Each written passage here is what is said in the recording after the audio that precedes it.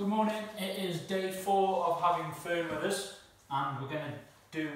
Uh, we're going to introduce Fern to a little bit of recall. Now, recall just means calling the dog back to you and having the dog come back when asked to. So, first of all, you need to know the words of command you're going to use. Now, I always use the dog's name first, and then give the instruction. My instruction is come, and I'll later on down the line I'll use hand signals as well. But we're only doing verbal at the minute my wife uses the command come here. So that's what she's going to use, that's what I'm going to use. And you can use it both. The dog will differentiate between the two, the two of us, and the two different words, and she'll associate that when mummy says come here, it means do this, and when daddy says come, it means do this. What you also need to have in mind is the bigger picture of what you want further down the line. So further down the line, when I say I ask one of the dogs to come, it should come wherever it is, from behind me, beside me, or whatever, come round the front of me, sit in front of me, and look up at me. Not sit over there, not sit over there, not stand there, not come to my heel. The dog should sit right in front of me and look up at me. Um, Leslie does the same. You might want your dog to just be somewhere near you so you can call it away from other dogs or from the road or just so you can grab it and put a lead on it. So it doesn't matter what you want as long as you have that idea in your mind from day one and build towards that. You don't expect it on day one. I'm not going to expect for him to come and sit here and look up at me.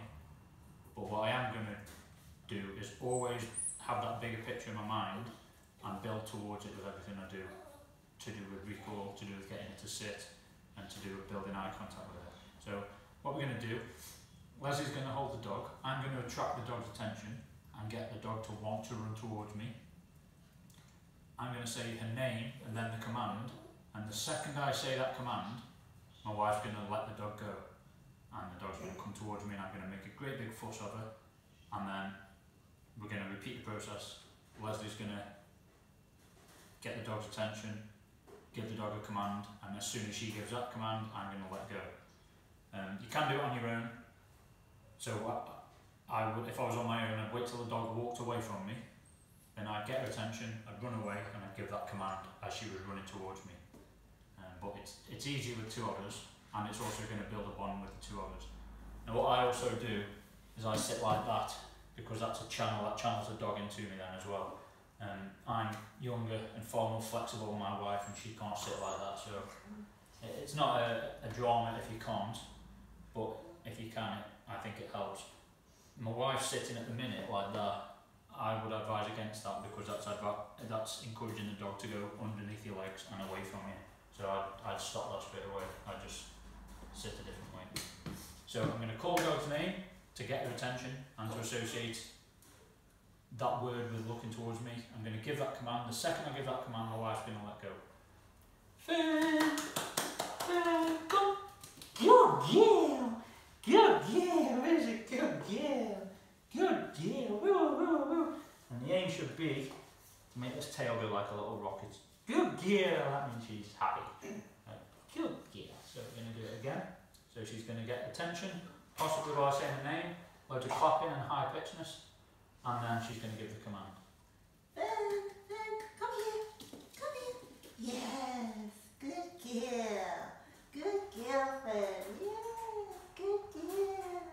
I'm just going to repeat it and repeat it. I'm not going to do half an hour of it because my attention span doesn't last that long, no mind the dogs. But three or four at a time, and that's perfect for the first start. Fern, Fern, come. Good girl. Good girl. Here's a good girl.